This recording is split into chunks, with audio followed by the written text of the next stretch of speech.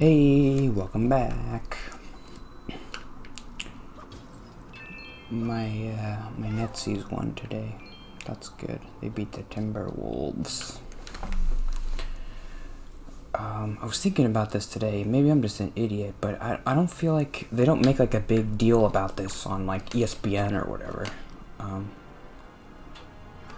but what happened in the past five years? Why for basketball? Why, why is everybody scoring so much? I felt like I was looking at this at work. There's like a tipping point about five years ago in the NBA where most of the teams were averaging about 100 points per game, 99 points, 102 points. Then, like in 2016, everybody started scoring 110 points per game. I don't know. I don't. I don't feel like what happened. Like, every, uh, and I've been noticing like when I watch the games, like everybody's just hitting shots. I know the Nets are really good right now, but like everybody's doing it too. Even the teams they play, like the Timberwolves, are terrible and they they hitting shots. I don't understand. I'm doing that thing where I'm like, oh, when I was a kid, the game was so much different, man. I did feel like that though. When I was a kid, I remember if the Nets scored 100 points, it was like a big deal. Like, whoa, they scored 100 points? They must be really good. But now, if you score 100 points, the worst team in the league averages 100 points, pretty much. I just remember, I remember the game being a lot slower and a lot of dribbling and passing, and then oh we missed a shot, and oh get the rebound, and then we dribble up slow. But now it's just like bang, bang, bang, keep shooting, keep shooting. I don't know. What's this? I, I don't know how long this dungeon is, but I don't think it's really that long. Um, I was going to try to talk about. I need to get into my topics quicker. Uh, God is great. And don't look at this pimple, it's bad. um, I feel like I did a good job yesterday of talking about my topic, but I was thinking about this before when I was talking about God is Gray. Her, I, I did a video I was talking about her channel, and I thought about like three or four different things I could talk about, and I was getting like sidetracked and all. I just need to focus on like one thing about a about a note that I write. Um, so I wanted to talk about. And I did listen to a podcast about this, like this YouTube rabbit hole thing. It's it's, it's it doesn't really affect me because I'm older now. I'm 28. They're not gonna get me. But a lot of the time, I'm I'm noticing this YouTube rabbit hole thing where they they show you one video and you watch it and then it's scary like all of a sudden you're getting all these recommended videos and you're like oh I might as well watch them they're recommended. Um, oh I want that I want that I want that. So that's how I got into the God is a great person, and I watched one of her videos, and she was saying like a lot of the things like that I agree with. The first thing I saw, I think that I agreed with a lot was like she articulated this idea that I've never really, maybe other people have said it, but it, I never really heard other people say, and it's something I remember saying a lot, which is. Um, I remember being in high school, I have a memory, and being in church, and the pastor saying something like, he, he would say this like almost every week. He'd be like, The culture wants to tell you that God can be whatever you want it to be. And God is changing with the culture. But the but you need to remember that God is the ultimate truth and he never changes. And I would have this thought like that might be true, but how are we supposed to know what the ultimate truth is? Like, the Bible is super vague a lot of the time. Our, most of it is just up for our oops interpretations of certain things. So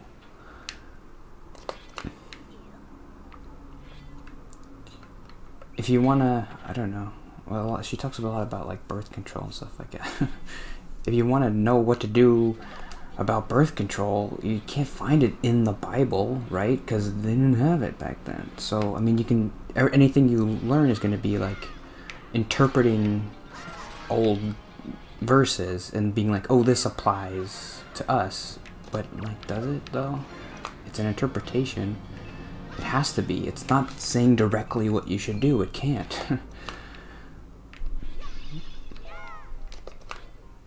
that's why it's always that's why I've always been like every pastor I've ever had has always had that kind of idea of like the cultures wants you to change and they want you to act a certain way but you need to act the way God wants you to act. And I'm like I, I agree with that but you're not God. So am I supposed to just believe whatever you tell me?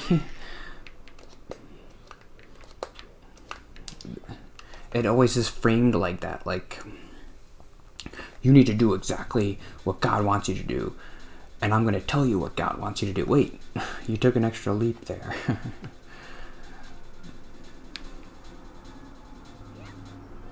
and, and, okay, uh, I need to do, I think that's all you need, right? Or maybe this, I don't know. Or maybe this. um,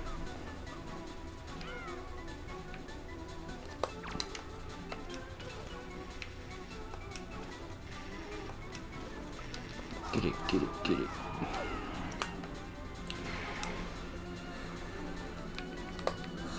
So God is gray. That's what. That's the video that I saw that I liked. Where it's like, God isn't black and white. It's gray. Um, God is black and white, but we're gray.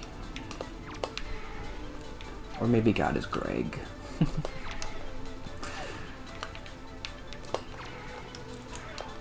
is it possible God could be Greg?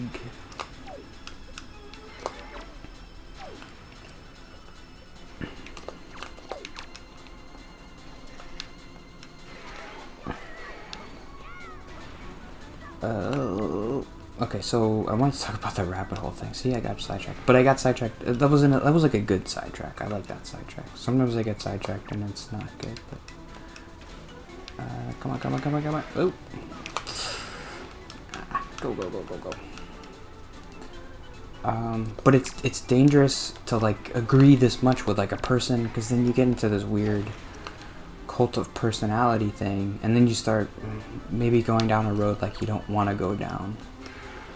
Um, that's what happens to a lot of these internet like far right people. I don't know. They watch YouTube videos and they're like, maybe I should hate Jewish people. I don't know. This guy I like this guy, and I'm watching all these videos that like saying there's racism against white people and and I don't have a job and I'm kind of like a loser or whatever. Like I feel that way. So maybe this guy's right. So you have to be, uh, but I could even be led that way by watching this God is Gray person, even though like she's not like that, but you, you get led there. Cause then I got, I got suggested this other person.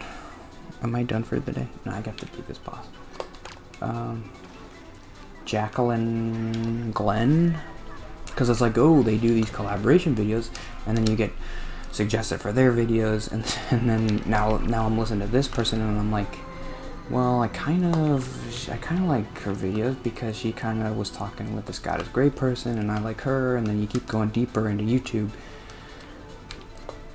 and then eventually at the end of it you hate Jews somehow and you're like what I listened to this podcast. I think it was a New York Times podcast called like YouTube Rabbit Hole, where this guy, I think he started like watching PewDiePie videos, and then alt, and then he became like an alt right person somehow.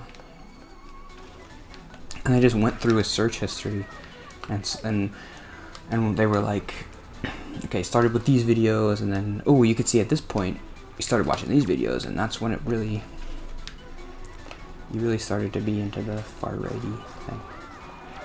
I like how you can see their health. That's nice. I wonder if you can see Ganon's health.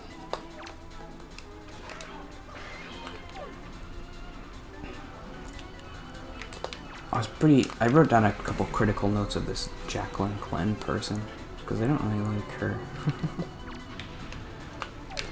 but I've been watching her videos so much because I'm like, I don't know, just like doing dishes, and I'm like, I gotta, I can't just do the dishes and not be listening to anything. So I just put her videos are recommended because I watched God is Gray, and then now I'm watching this atheist talk about uh, stuff.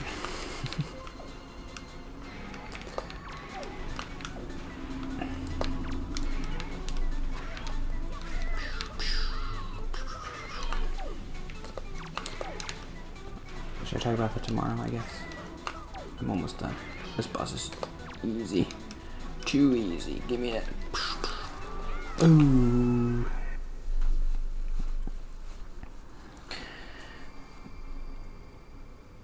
the thing they always say, all the YouTubers, they always say this. Have I ever said this? I don't know. They want to build a community. Ooh, let's build a community of people.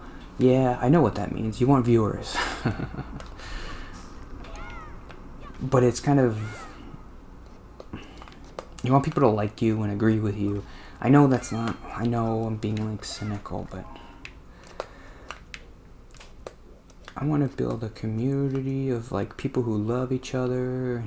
like, yes, it's a good thing, but it, it, you want to build a community with you at the top of it, right? Where you're kind of making the videos and everybody else is kind of below you talking about the videos. So that's like a cult of personality type of thing, right? Where everybody's listening to you and there are the people who like are dissidents, but then the other people who like you are like arguing with those people, like, no, she's a good person and you're wrong. I don't know what I'm saying. Uh, should I just make a run for it? Run for it! Ow! don't grab me. Ah. These re redeads aren't that scary. The Ocarina ones are worse.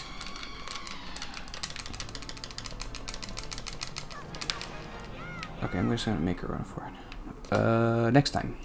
So, see you tomorrow.